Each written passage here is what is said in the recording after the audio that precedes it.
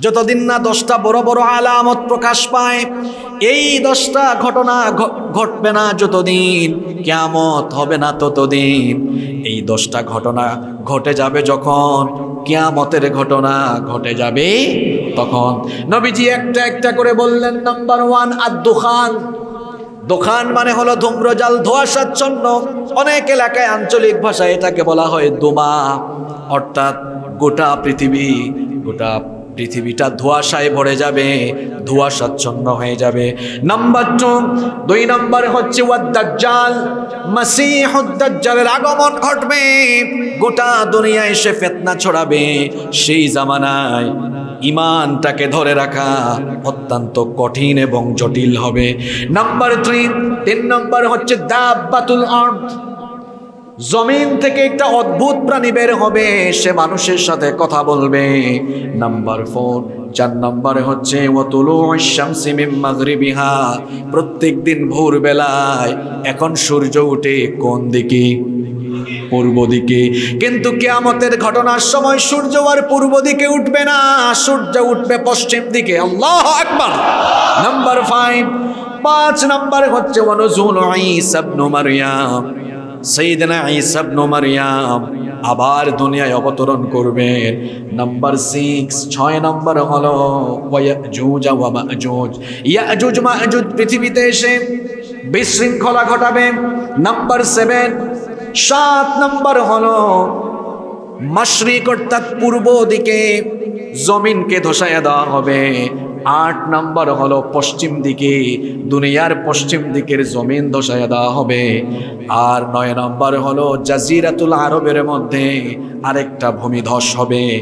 দশ নম্বর হলো, দশ নম্বর হলো ইয়ামেনের একটা শহর থেকে হাদারামাউত থেকে একটা আগুন বের হবে। ওই আগুন দুনিয়ার মানুষদেরকে তাড়িয়ে নিয়ে হাসরের মাঠে নিয়ে একত্রিত করবে। আল্লাহ আকবার।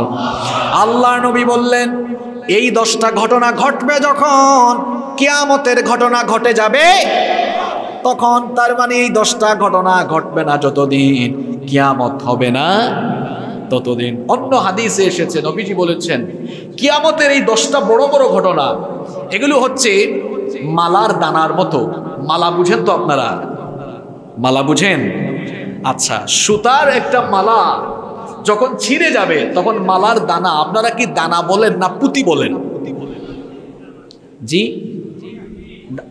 দুটোটাই বলেন। সুতার একটা মালা যদি ছিঁড়ে যায়, মালা ছিঁড়ে দেওয়ার পরে দানাগুলো একটার পর একটা কি হবে? পড়ে যাবে। নবীজি বলেছেন, কিয়ামতের এই বড় বড় দশটি ঘটনা, মালার দানার মতো যখন একটা প্রকাশ পাবে, বাকিগুলো একটার পর একটা, একটার পর একটা প্রকাশিত হয়ে সব কিছু লন্ড ভণ্ড চূর্ণ বিচূর্ণ, নেশাকার হয়ে কিয়ামতের ঘটনা ঘটে যাবে। আল্লাহ আকবর।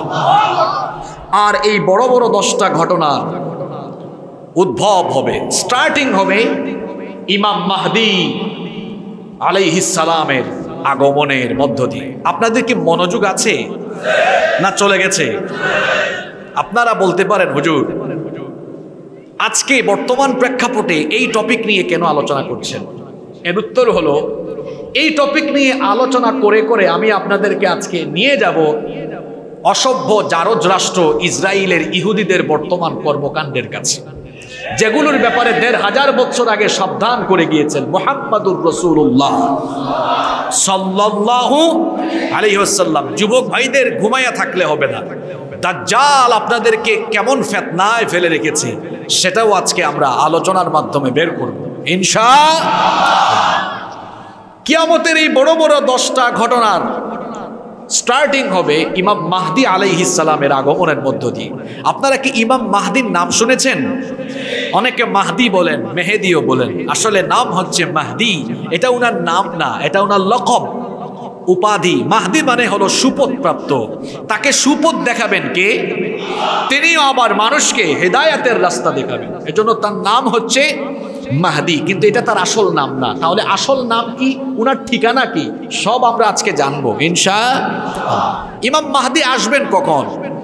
গোটা দুনিয়ায় যখন মুসলমানরা নির্যাতিত, নিপীড়িত, মুসলমানরা যখন কোথাও মাথা উঁচু করে দাঁড়াতে পারবে না, কাফির কুফার মুনাফিক, ইসলাম বিরোধী শক্তি ঐক্যবদ্ধ হয়ে যখন মোমেন মুসলমানদের উপরে ঐক্যবদ্ধভাবে ঝাঁপিয়ে পড়বে, তখন এই দুর্দিনে, এই সংকটময় দিনে ইমাম মাহদি আলাইহিসালাম মজলুমদের পাশে দাঁড়িয়ে, মজলুম মোমেনদের মজলুম মোমেনদের পক্ষে দাঁড়িয়ে কালেমার পতাকাকে সমুন্নত করে তাম দুনিয়ার কুফফার শক্তিকে কুফফার শক্তিকে মূলোৎপাটন করে দিয়ে ইসলামের পতাকাকে তিনি উড্ডয়ন করবেন। আল্লাহ আকবর।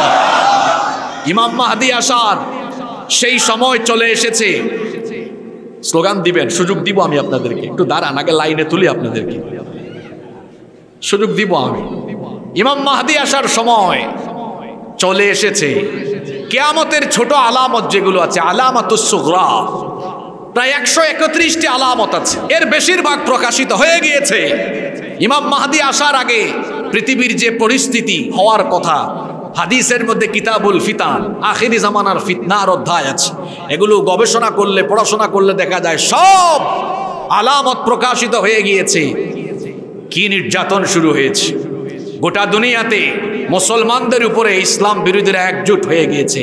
এখন চোর, ডাকাত বদমাস দুর্নীতিবাজ, টেন্ডারবাজ চাঁদাবাজ, এরা থাকার কথা ছিল জেলখানার ভেতরে।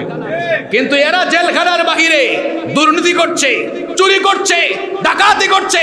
আর কোরআনওয়ালা লোকেরা আল্লাহর কোরআনের দায়ীরা ঘরে থাকতে পারে না, ঘর ছেড়ে প্রবাসে বাড়ি জমিয়েছে। আল্লাহর কোরআনের দায়ীরা ফাঁসির কাস্তে ঝুলেছে। যে জেলখানা বানানো হয়েছে চোর আর ডাকাতের জন্য, সেই জেলখানায় কোরআন হাদিসের গবেষকদেরকে বন্দী করে রাখা হয়েছে। আমরা এগুলো নিয়ে আফসোস করছি না। কারণ ইমাম মাহদি আসবেন, ইমাম মাহদি এসে অত্যাচারের শিকল ভেঙে ইসলামের পতাকা তিনি উড্ডয়ন করবে।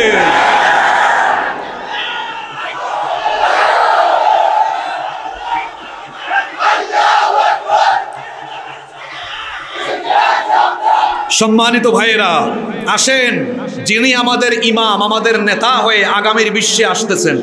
তার একটু পরিচয় জানার দরকার আছে না নাই? ইমাম মাহদি আমাদের নেতা। আর কাফির, মুশরিক, ইহুদিদের নেতা হলো দাজ্জাল। তাম দুনিয়ার ইহুদিরা অপেক্ষা করছে দাজ্জালকে রিসিভ করার জন্য। আর মজলুম মুসলমানরা অপেক্ষা করছে ইমাম মাহদির হাতে বায়াত গ্রহণের জন্য। ইমাম মাহদি, যিনি আমাদের নেতা হয়ে আসতেছেন, তার পরিচয় আমাদের জানার দরকার, আছে না নাই? কারণ এখন পর্যন্ত অনেকেই নিজেকে মাহদি বলে দাবি করেছে। তাহলে আসল মাহদিকে তার পরিচয় যদি আমার, আপনার জানা থাকে, তাহলে আমাদের জামানায় যদি তিনি চলে আসেন, তাকে চিনতে আমাদের কোনো অসুবিধা আর হবে ইমাম মাহাদির দশটি পরিচয় হাদিস থেকে বলব। পারলে মুখস্থ করে ফেলেন অথবা নোট করে নিয়ে যান। এগুলো ফেসবুকে আবার পোস্ট দিয়ে দিবেন যে আমরা তফসির মাহফিল, ওয়াজ মাহফিলে গিয়ে এই শিখেছি। এটা একটা দাওয়াত হয়ে যাবে। ইনশা আল্লাহ ইমাম মাহাদির কয়টা পরিচয় দিব? নাম্বার ওয়ান এক নাম্বার হলো আল্লাহর নবী বলেছেন, ইমাম মাহাদি কোন যুগে আসবে শোনো? আল্লাহর হাবিব বলেছেন ইয়াখরুজফি আখিরি উম্মতি আল মাহদি আল্লাহর নবী বলেছেন, আমার উম্মতের আখিরি জামানায়, কিয়ামতের আগে শেষ জামানায় ইমাম মাহদির আগমন ঘটবে। তাহলে এই হাদিস থেকে আমরা জানলাম, ইমাম মাহদি কিয়ামতের ঠিক আগ মুহূর্তে শেষ জামানায় আসবেন। নাম্বার টু দুই নাম্বার হচ্ছে ইমাম মাহদি কোন বংশ থেকে আসবেন? এটা কি আমাদের এই মিরসরাইয়ের চৌধুরী বংশ থেকে? নাকি খান বংশ থেকে? নাকি ভারতের কোনো বংশ থেকে? না আফগানিস্তানের কোনো বংশ থেকে? তো কোন বংশ থেকে আসবেন সেটা আমার, আপনার। কষ্ট করে বলা লাগবে না। দেড় হাজার বছর আগে এটা আমাদেরকে জানিয়েছেন মুহাম্মাদুর রসুল্লাহ সবাই পড়েন সাল্লাহ আলাইহি ওয়াসাল্লাম। আল্লাহর নবী বলেছেন আল মাহদি মিন ইতরাতি মিন ওয়ালাদি ফাতিমা। এই হাদিসটি আবু দাউদ এবং ইবনে মাজায় বর্ণিত হয়েছে। নবীজি বলেছেন, আখিরি জামানা ইমাম মাহাদি আমার আহলে বাইত, আমার পরিবারের আমার কলিজার টুকরা মেয়ে, ফাতেমার সন্তানদের বংশধারা থেকে তার আগমন হবে। তাহলে ইমাম মাহদি হবেন যিনি, নবীজির বংশের লোক হবেন তিনি। ফাতেমাতুজ জাহরা রাদিয়াল্লাহু আনহার বংশের হবেন। সেইদিনা শেরে খুদা আলী কার্রামাল্লাহু তার বংশের হবেন। তাহলে আমরা ইমাম মাহাদির দুই নাম্বার পরিচয় জানলাম। নাম্বার থ্রি, তিন নাম্বার হলো ইমাম মাহাদির আসল নাম এবং তার বাবার নাম কি হবে? আল্লাহর নবী বলেছেন, লা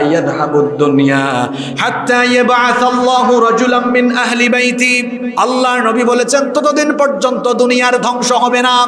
যতদিন না আমার বংশের একজন আল্লাহর প্রতিনিধি হয়ে এই দুনিয়াতে না আসে। আল্লাহর নবী বলেছেন, শোনো, তার পরিচয় হলো, ইউ আতিসমুহু ইসমি ওয়াসমা আবি হিসমা আবি তার নাম হবে আমার নামে। আর তার বাবার নাম হবে আমার বাবার নামে। অর্থাৎ নবীজি বলেছেন, মাহদি হয়ে যিনি আসবেন, তার নামটা হবে আমার নামে। আমার নবীর নাম হচ্ছে মোহাম্মদ, আমার নবীর নাম হলো আহমাদ। নবীজি বলেছেন, মাহদি হয়ে যিনি আসবেন, তার নাম হবে মোহাম্মদ, তার নাম হবে আহমাদ। নবীজি বলেছেন, ওয়াসমা আবি, হিসমা আবি। ইমাম মাহদির বাবার নাম হবে আমার বাবার নামে। নবীজির বাবার নাম কি? আরও জোরে বলেন।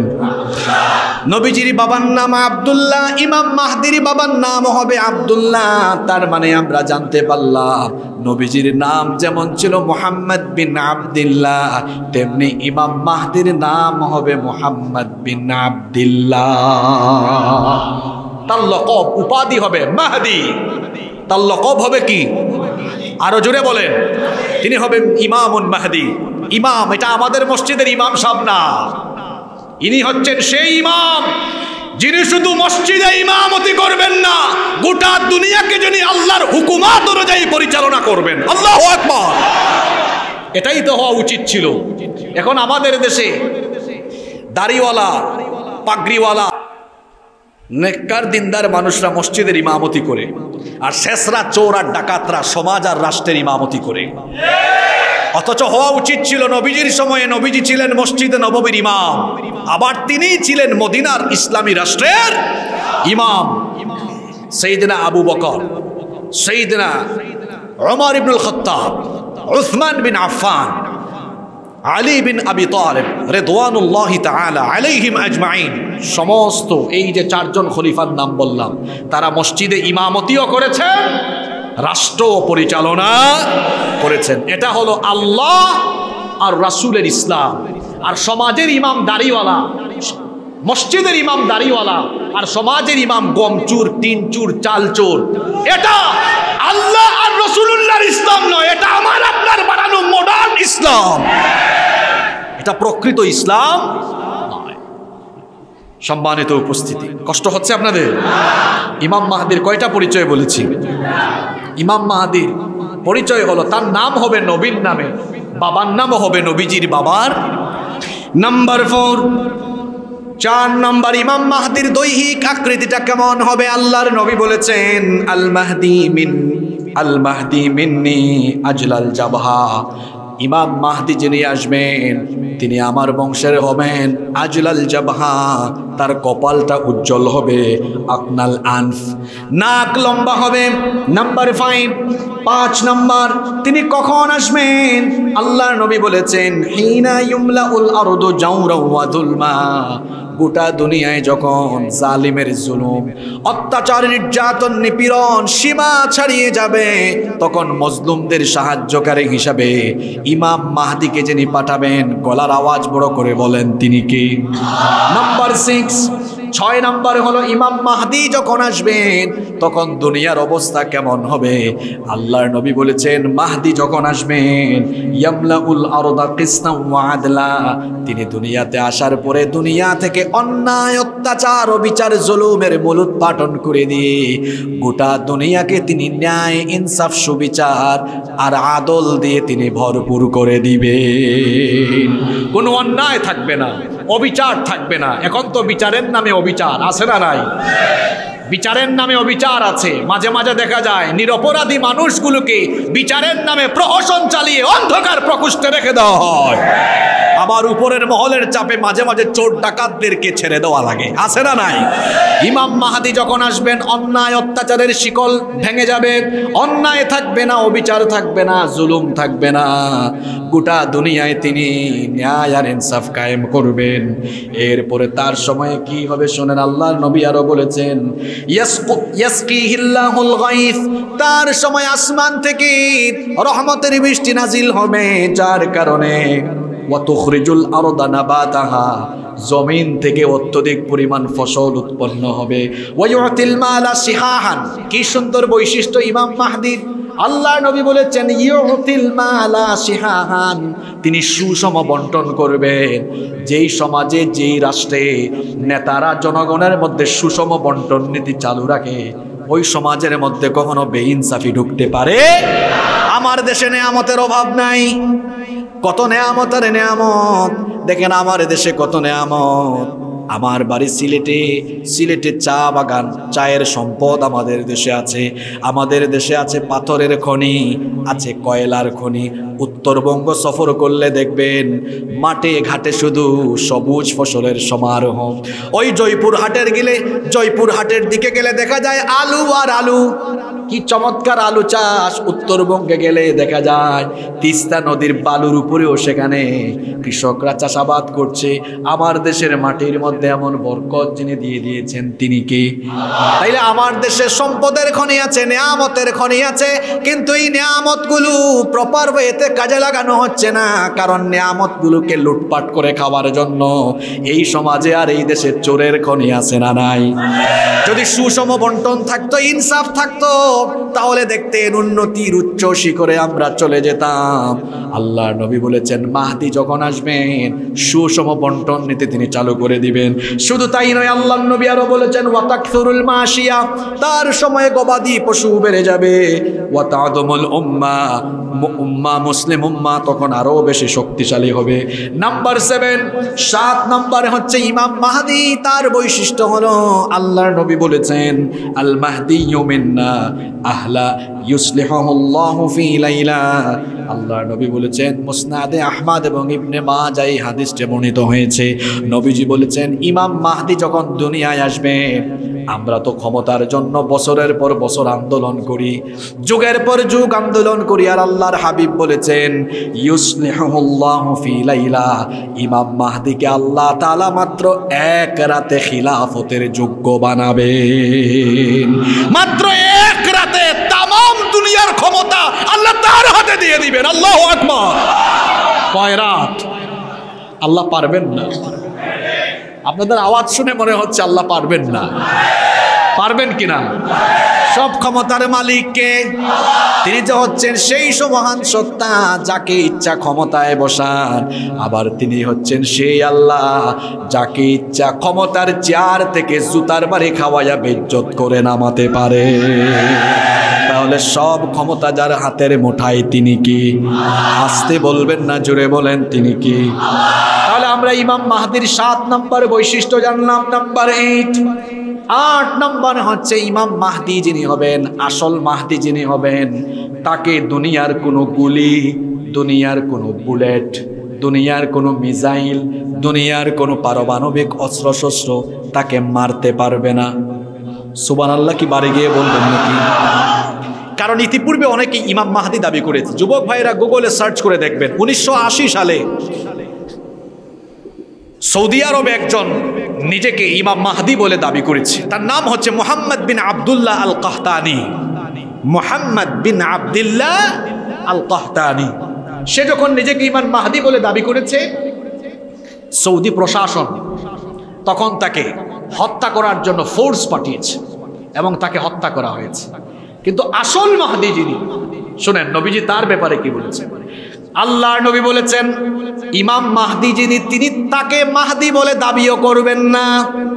মানুষকে বলবেন না, আমার হাতে খেলাফত। খেলাফতের বায়াত গ্রহণ করো। তিনি নিজে এটা বলবেন না। আপনারা বলবেন, তাহলে হুজুর অবস্থা কেমন হবে? অবস্থা হবে এমন, ইমাম মাহদি কাবা ঘরের তাওয়াফ করা আরম্ভ করবেন। রুকনে আমিনি এবং মাকামে ইব্রাহিমের মাঝামাঝি জায়গায় তিনি থাকবেন। লোকেরা তখন দুনিয়ার ওই জটিল পরিস্থিতি তার দিকে তাকায়া সাথে সাথেই তাকে চিনে ফেলবে। তার কাছে লোকজন জড়ো হয়ে যাবে। সঙ্গে সঙ্গে তার হাতে বায়াত আরম্ভ করবে। তিনি বায়াত করার জন্য কাউকে বলবেন মানুষই তাকে চিনে ফেলবে। এরপরে দুনিয়ার কোনো পরাশক্তি তাকে কোনো ক্ষতি সাধন করতে পারবে না। দেখেন আল্লাহর হাবিব কি বলেছেন? হাদিসটি মুসলিম শরীফে বর্ণিত হয়েছে। উম্মুল মুমিনিন, উম্মে সালামা রাদিয়াল্লাহু আনহা এই হাদিস বর্ণনা করেছেন। তিনি বলছেন, নবীজি বলেছেন, ইয়াউদু আইদুম বিল বাইত, আমি আশ্চর্য হয়ে যাই, আমি অবাক হয়ে যাই। আখেরি জামানায় আমার কুরাইশি বংশের ওই মাহদি যখন আল্লাহর কাবা ঘরে আশ্রয় নেবেন তাকে হত্যা করার জন্য একদল সৈন্যবাহিনী পাঠানো হবে। ওই সৈন্যবাহিনী যখন তাকে হত্যা করার উদ্দেশ্যে রওনা করবে, তারা বাইদা নামক এক একটি জায়গায় যাওয়ার পরে, বাইদা নামক ওই স্থানে উপস্থিত হওয়ার পরে আল্লাহ ওই সৈন্যবাহিনীকে মাটির নিচে ধসায়া দিবে তাহলে হাদিস থেকে কি বুঝলেন? ইমাম মাহাদি তাকে হামলা করার জন্য অ্যাটাক করার জন্য যে আসবে, আল্লাহ তারে মাটির নিচে গেড়ে দিবেন। আল্লাহ ইমাম মাহাদিকে কোনো গুলি বুলেট, মিসাইল, পারমাণবিক অস্ত্র, দুনিয়ার কোনো সেরা অস্ত্র দিয়েও তাকে ঘায়েল করা সম্ভব হবে? তাকে প্রোটেক্ট করবেন, হেফাজত করবেন যিনি, তিনি কে?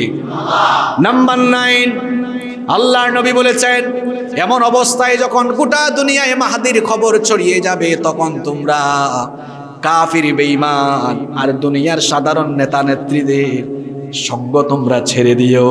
যখনই শুনবা মাহাদি এসে গিয়েছে, তখনই তোমরা ইমাম মাহাদির হাতে বায়াতের জন্য আল্লাহর নবী বলেছেন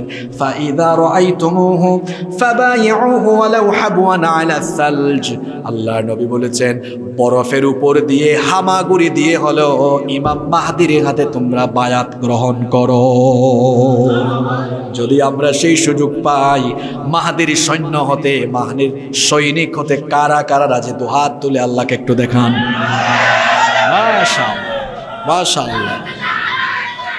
হাত নামান, ইমাম মাহাদি এবং আইসা আলাইহিস সালাম দুনিয়াতে এসে লড়াই করবেন ইহুদিদের বিরুদ্ধে যে ইসরায়েলের ইহুদিরা এখন পবিত্র ভূমি, এটাকে পবিত্র ভূমি এই জন্য বলেছি, আল্লাহ ফিলিস্তিনের এই ভূমিকে কোরআনুল কারিমের এক জায়গায় নয় পাঁচ জায়গায় আল আরদুল মুকাদ্দাসা পবিত্র ভূমি বলে সম্বোধন করেছেন। আল্লাহ আকবার।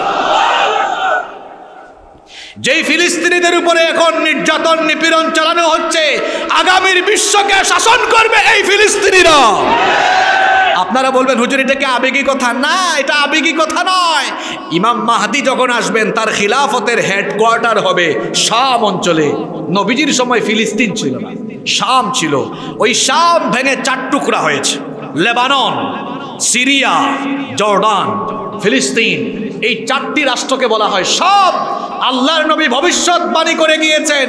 আখিরি জামানায় শাম অঞ্চল হবে খিলাফতের হেডকোয়ার্টার। এখান থেকে গোটা বিশ্বকে ইমাম মাহাদি শাসন করবেন। আল্লাহ আকবার!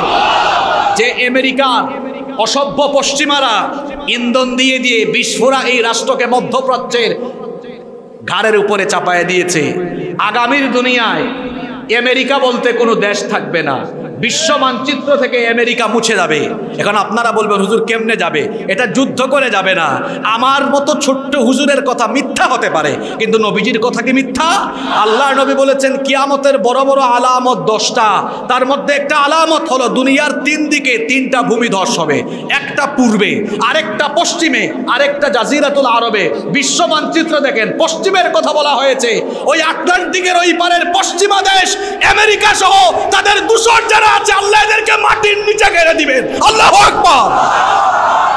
কথাগুলোতে এমনি এমনি বলছিলাম, নবীজির হাদিস সামনে রেখে বলছি। আর যে ফিলিস্তিনিদের উপরে নির্মম নিপীড়ন চালানো হচ্ছে, এই ফিলিস্তিন হবে আগামী দুনিয়া। যারা শাসন করবে, এই ফিলিস্তিন, লেবানন, জর্ডান, সিরিয়া, এই শাম অঞ্চল হবে আগামীর পৃথিবী শাসনের কেন্দ্রস্থল হেড অফিস সুবাহান আল্লাহ পড়েন। নাম্বার টেন দশ এবং সর্বশেষ হলো ইমাম মাহাদি যখন দুনিয়ায় আসবেন, কত বছর তিনি রাজত্ব করবেন? আল্লাহর হাবিব বলেছেন, নবীজি বলেছেন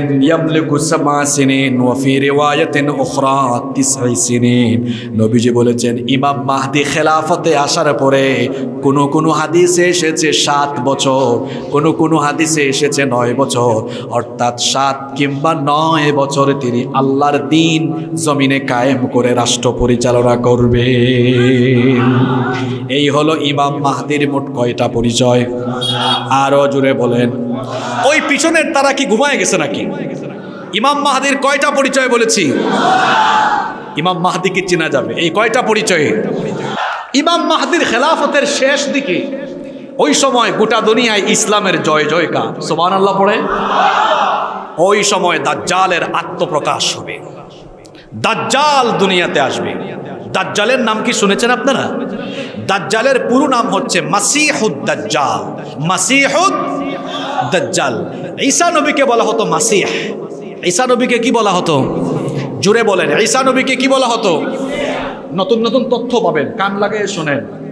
ঈসা নবীকে বলা হতো মাসিহ। তার নাম হচ্ছে মাসিহ বিন মারিয়াম। এখন আপনাদের প্রশ্ন হতে পারে, হুজুর, ঈসাকেও বলা হয় মাসিহ দাজ্জালকেও বলা হয় মাসিহ। এর কারণ কি? মাসিহ শব্দটি হচ্ছে আরবি।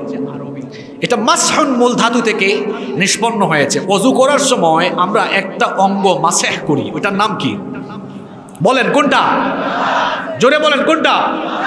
তায়াম্মুমের সময় আমরা পানি হাতে লাগাই না। তখন আমরা মুখমণ্ডল আর হাত কি করি? মাসেহ করি। মাসেহ মানে বুঝছেন তো আপনারা? এই যে আমি সভাপতি সাহেবকে মাসেহ করলাম। এটাকে বলা হয় মাসিহ। এখন ঈসা আলাই ইসলামকে মাসিহ বলা হয় কেন জানেন? আল্লাহ আকবার। তিনি যখন কোনো কুষ্ঠরোগুর কুষ্ঠরোগীর গায়ে এভাবে মুছে দিতেন আল্লাহ তাকে ভালো বানায় দিতেন। ঈসা নবীকে মাসেহ বলা হয় এই কারণে তিনি যখন কোনো অন্ধ ব্যক্তির চোখের উপরে একটু মাসেহ করে দিতেন মুছে দিতেন আল্লাহ তার চোখের আলো ফিরাইয়া দিতেন। এখন ঈসা নবীকে মাসিহ বলা হয় কেন? সেটা বুঝলাম। তাহলে দাজ্জালকে কেন মাসিহ বলা হয়? কারণ হচ্ছে, দাজ্জালের একটা চোখ, কোন কোন হাদিসে এসেছে বাম চোখ, কোন কোন হাদিসে এসেছে ডান চোখ। দুই রকম হাদিস আছে। আমরা সব সময় বলি বাম চোখ। ধরেন যে কোনো একটা চোখ, এই যে চোখের এটা কি? ব্রু। এই ব্রু এবং চোখ চামড়ার আবরণ দিয়ে মাসে অর্থাৎ আবরণ আবরণ দিয়ে দেওয়া হবে। তার একটা চোখ থাকবে, আরেকটা থাকবে। আবার যেটা থাকবে, ওইটাও থাকবে কীরকম? আঙ্গুরের মতো, ফুলা আঙ্গুরের মতো থাকবে। দাজ্জাল কানা হবে, অন্ধ হবে।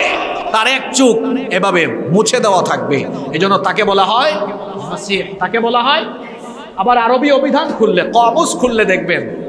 মাসিহ শব্দের আরেকটা অর্থ হলো ভূপৃষ্ঠে বিচরণকারী।